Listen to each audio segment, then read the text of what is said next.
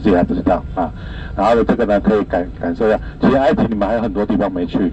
啊，你们还有孟菲斯没去，亚历山大没去。啊，黑白沙漠你们也还没去。啊，西奈半岛你们也还没去，OK，所以呢很多地方，所以有机会再来一次。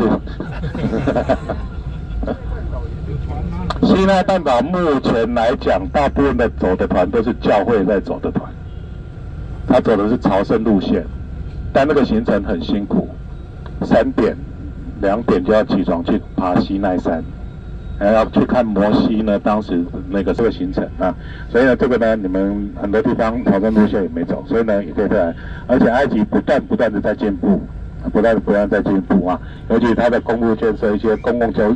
交通建设啊，比以前真的好了很多了。以前我们光走这条路来到这个地方，最少二十分钟跑不掉，今天还算蛮 OK 的，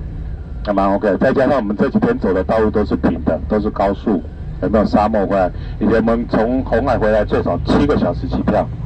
是走海滨公路，就那个花莲那种海岸公路这样子，啊，很弯道弯来弯去的那种的啊。现在都走高速了啊，所以我们减少了很多时间啊。啊，这个呢也新首都好了之后呢，也也会来越更多地方，更多地方啊，所以呢有机会再来啊。好，谢谢各位对我们的工作支持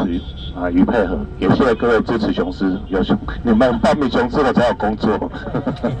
希望大家继续支持我们啊，支持我们啊。